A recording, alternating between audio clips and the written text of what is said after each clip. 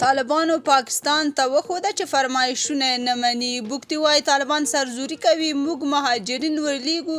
طالبان باید ټي ټي پي راولیږي جزئیات همدلته وګورئ او چینل هم سبسکرایب کړئ د جمهوریت نظام له سقوط وروسته پاکستان بار بار طالبانو څخه غوښتنه کوي چې یا خو ټي ټي پي وځپئ او یا یې موږ ته وسپارئ، خو طالبان د دوی غوښتنې نه مني او سر ورته نه ټیټوي.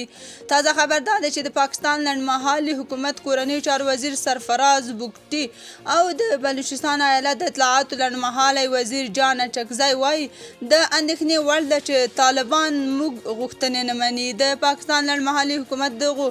دوو وزیرانو د یوې ټلویزیوني مرکې پر مهال ویلي، طالبان دې افغانان خپل هېواد ته ستانه کړي خو موږ ته دې هغه پاکستانیان را وسپاري چې په افغانستان کې اوسېږي. د پاکستان لنډمهالي حکومت د کورنیو چارو سرپرست وزیر سرفراز بګټي د پاکستان دولتي تلویزیون سره په